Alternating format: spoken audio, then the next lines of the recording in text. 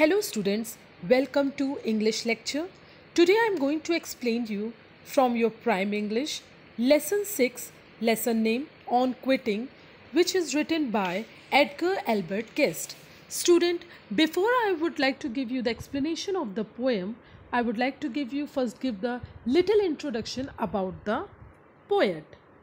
Edgar Albert Guest, he was born on 20th August 1881 till 5th August 1959. He was a British born American poet who was popular in the first half of the 20th century and became known as the people's poet. His poem often had an inspirational and optimistic view of everyday life. After he began at the Detroit Free Press as a copy boy and then a reporter, his first poem appeared on 11 December 1898. His tropical verses were published under the column Breakfast Table Chat in over 300 newspapers throughout the United States. He is a prolific writer. Guest became the people's poet in the first half of the 20th century. Now, student, this was the little gist about the poet that is Albert Edgar Albert Guest. Now, I would like to give you a little gist about the subject of the poem.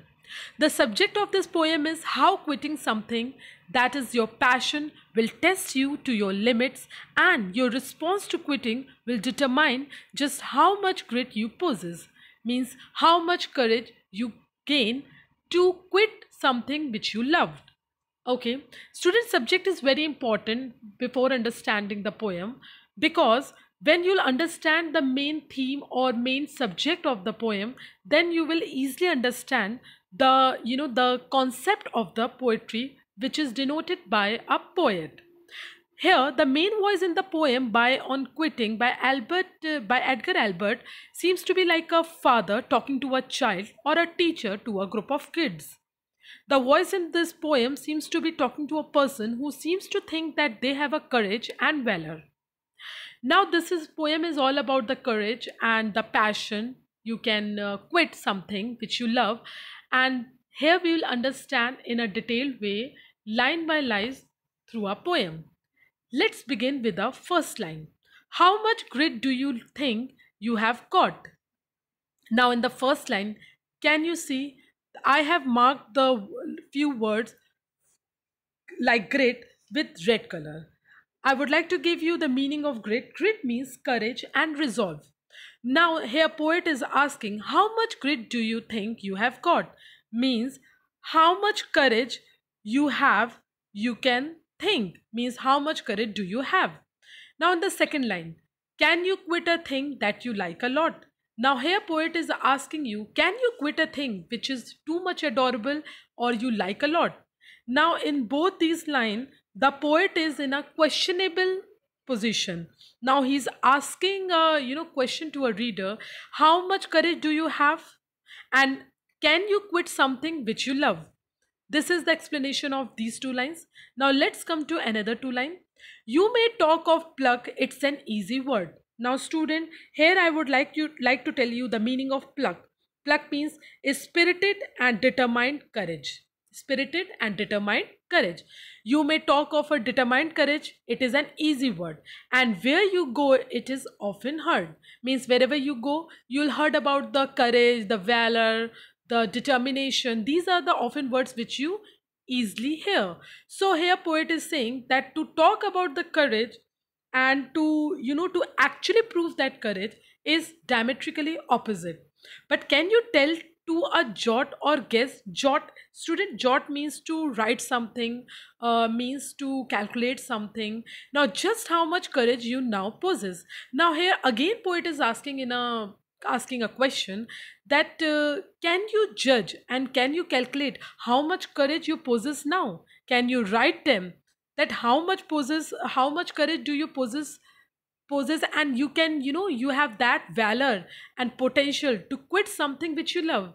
Now in this paragraph student i hope you have understood the voice in the poem seems to be you know uh, kind of uh, questionable and uh, he's he's warning the person to be careful and not to boast before they have tested courage. And uh, what is going in the piece of someone who has lot authority over means these uh, these are the you know multiple questions the poet is asking from the reader Now, student, let's go to another stanza. Now, can you read the first line? You may stand to trouble and keep your grin, but have you tackled self discipline? Now, here poet is saying that you can, you know, you can stand to your trouble, you can uh, keep your grin grin means uh, what is what is the meaning of grin grin means to smile in a trouble. You can smile on your problem you can smile on your trouble but have you tackled self discipline have you ever thought that uh, your mind should obey your heart and your heart should obey your mind? So this is what called the self discipline now a poet is saying that uh, have you ever thought that uh, whatever your heart likes have you ever imagined that you sh- it should be controlled by your brain? So these are the you know these are the different elements used by the poet.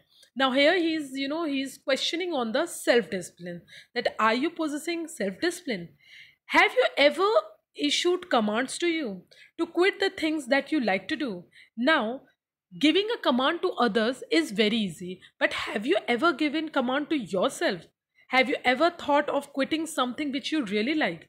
And then when tempted and sorely soiled sorely soiled means uh, you know uh, kind of a kind of a student it is very important to understand what is the meaning of sorely. Sorely means uh, to emphasize that feeling such as disappointment or need is very strong.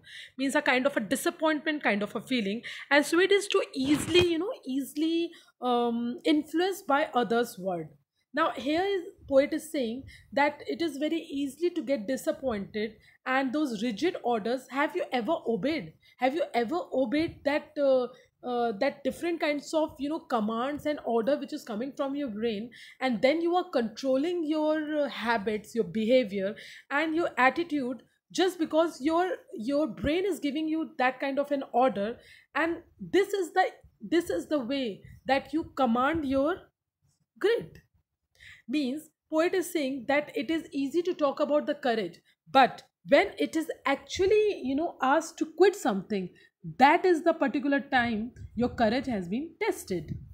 Now let's come to the next stanza. Don't boast of your grit till you have tried it out. Now here in the very first line poet is explaining don't boast of your grit you have tried it out. Means that don't talk about your courage till the time you haven't tested your courage. Now, in the second line, not prate to men of your courage. Strout.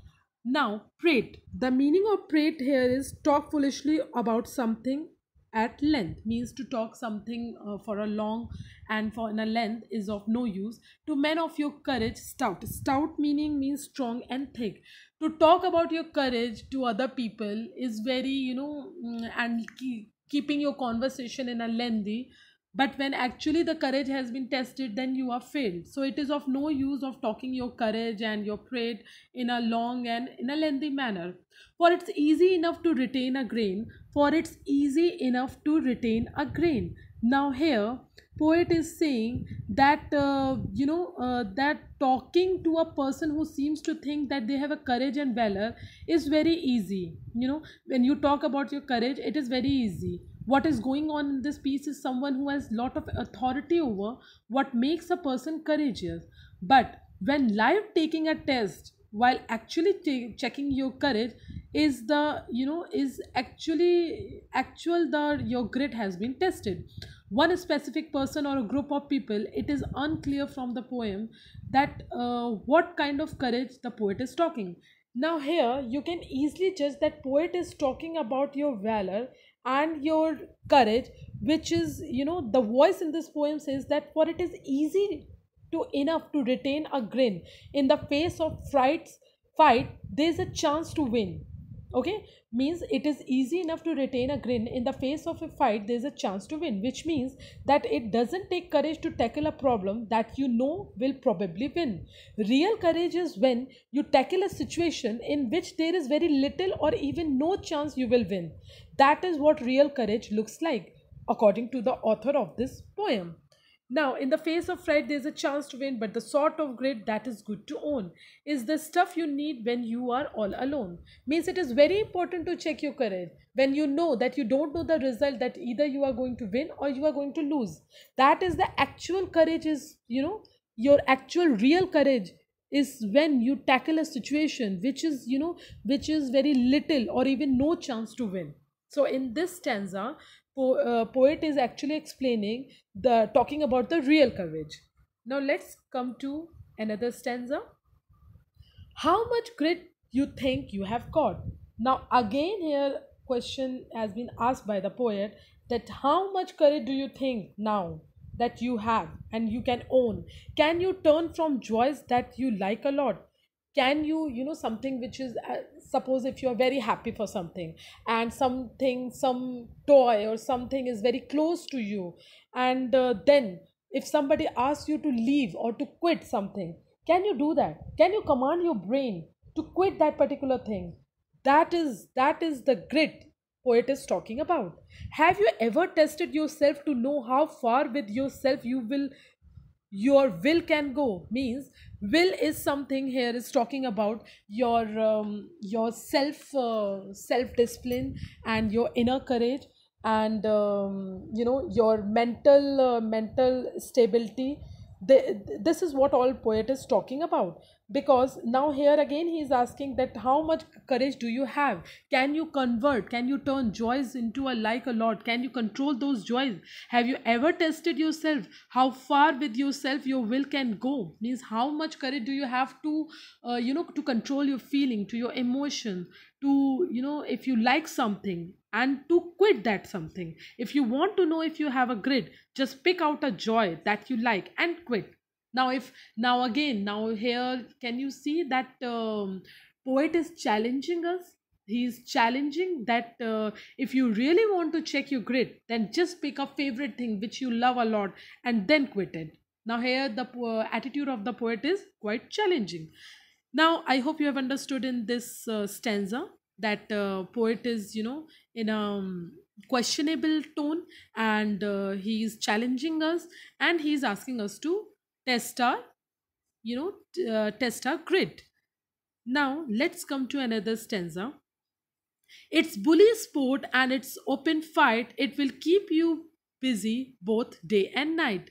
Now uh, it is you know it is a bully sport and it's a open fight. Open fight means that uh, he's you know he's talking in a in a very broad way and he said uh, it's a bully sport means that uh, poet is giving an open challenge and uh, he's you know he's just giving a open fight and uh, it will keep you busy both day and night. It means that he is saying that uh, when you you know when you challenge your courage it makes you busy both day and night and it's a open fight. It's a open challenge that can you control your uh, can you you know actually check your real courage? Now for the toughest kind of a game you'll find is to make your body obey your mind. Now here poet is saying that it is the toughest job to you know to control your body. Obey obey your mind and you have to obey your mind what your mind is saying. These are the you know the, these are the actual game of life. These are the toughest game of your life. And you never know never will know what is meant by grit. And you will never know about the grit unless there is something you have tried to quit. Till the time you will not uh, you know leave something to quit something you will not understand the importance of uh, you know what is the courage you require to check your grid? Now the student here i would like to tell you the few things about this poem. First of all the main character seems to be missing from this character. It isn't even hinted at about who the persona in the story could be talking to or about. I think that this is a very important concept for this story.